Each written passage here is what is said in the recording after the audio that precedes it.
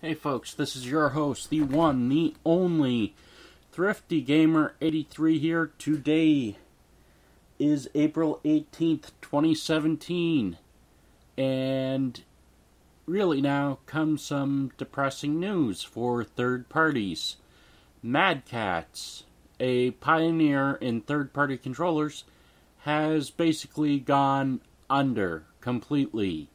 There's nothing really to save it now. Even in bankruptcy, there's nothing that can be done to save it. They went and put everything they had into a, well, what could be described as a sucker's bet on Guitar Hero. They put everything they had behind the newest iteration and it failed. It failed miserably for Mad Catz. It was perhaps one of those things which proves in all time that putting your eggs into one basket really, really doesn't pay off in the long run. Mad Catz learned that the hard way. Completely, which is to mean that there will be no more Saitek cheap hardware for PC gamers just as there will be no cheap products for third party gamers who like Mad Catz and their branding and yet will not have access to it for PlayStation 4, PlayStation 3, Xbox One, Xbox 360, Wii or Wii U. It's it's done. It's completely swept under a rug. And the other topic I'd like to talk about is the discontinuation of the NES Mini, which will drive up a high yield collectibles market on the product, which means that Nintendo, if they do plan to release an NES Mini 2, again, as many, many companies have done in the past with an emulation layer such as the AtGames Sega collections or the Atari Flashback collections, Nintendo may be gauging the success of what they can slowly eke out in that consumer market. As it is with the Nintendo Switch becoming very popular and completely going just bonkers in sales and being sold out everywhere, I'm I'm completely not really stunned that Nintendo cut back on the NES Mini. I'm stunned at how well the Switch has done. I am eating my own words here. A fact which, while I looked forward to the Switch, I kind of had it in the back of my mind that it could be either a disaster on par sales wise with the GameCube. As much as it pains me to say the word GameCube, the sales were not astronomically what Nintendo thought they would be. With the Switch, it rebounds from the Wii U and poor prior marketing. Now, with all that said and done, seeing how Mad Catz has just plain gone under. Gone completely under due to too many risky and bad investments and just trying to polish up their chops with their newest Guitar Hero iterations. They tried to do too much with one product and repeat and repeat and repeat. Necessity is the mother of invention, but this time this time with Mad Catz, they didn't really invent. The necessity was not there. They were just continually pushing an old, tired formula into trying to boost their sales and revenue. And with Guitar Hero, it didn't work.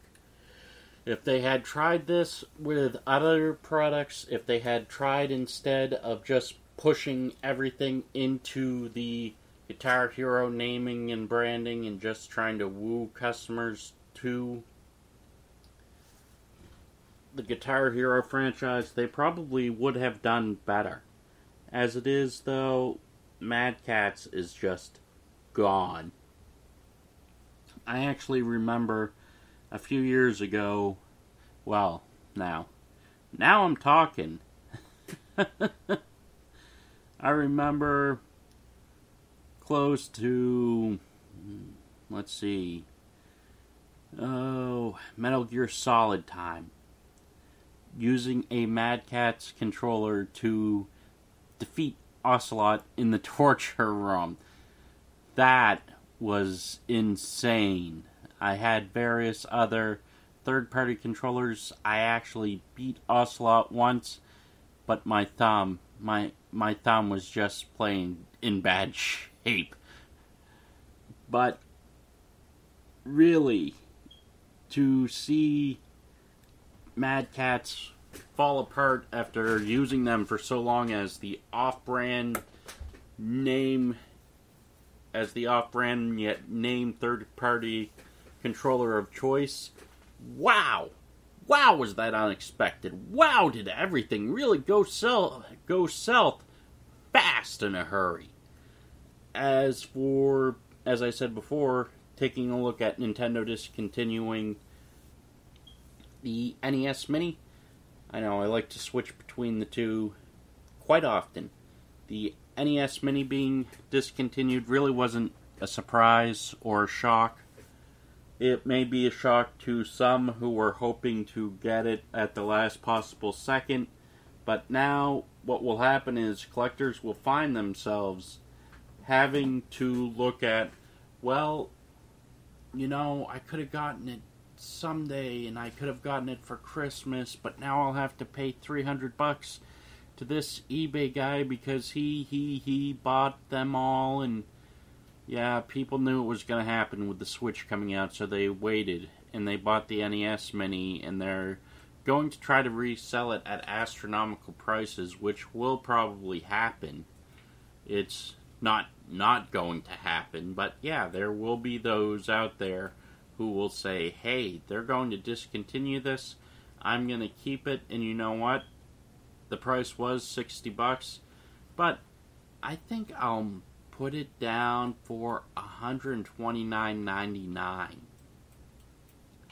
And that's the thing you have to look at, really, is how unscrupulous some people will be with the discontinuation of the Mini it really is one of those attributes in retro collecting which you just have to look at and admit is there, and at the same time say, well, we missed it.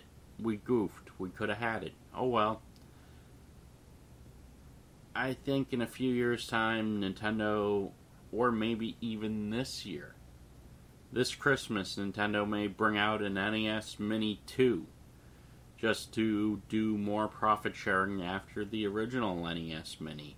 It may have just been a large test to see how many units they could sell, to see how many were marketable, to see how many would be distributed and or pre-ordered. So, in between Mad Catz going under and the NES Mini being discontinued, the gaming landscape is just changed completely. With Mad Catz, I will miss Mad Catz. They had some of the greatest innovations that were present for a third party. They had some of the best sales pitches and mock up prices you could get, undercutting Sony, but also making sure they had some form of quality assurance so that you would go back and buy a Mad Catz product. And I am just also so, so just looking to the side and saying, oh no. Uh, that will mean no name brand third party. It will mean getting a third party from China, which name you can't even begin to pronounce or enunciate, but hey, it's the same with Mad Catz. So, you know, win or lose, it's just about the same controller, maybe without customer quality assurance, but you get what you pay for. Alright, folks, rant, rave, love, hate. I've had a lot of fun making this video. Oh, if you want me to cover another topic, just put it in the comments section. Have a good one.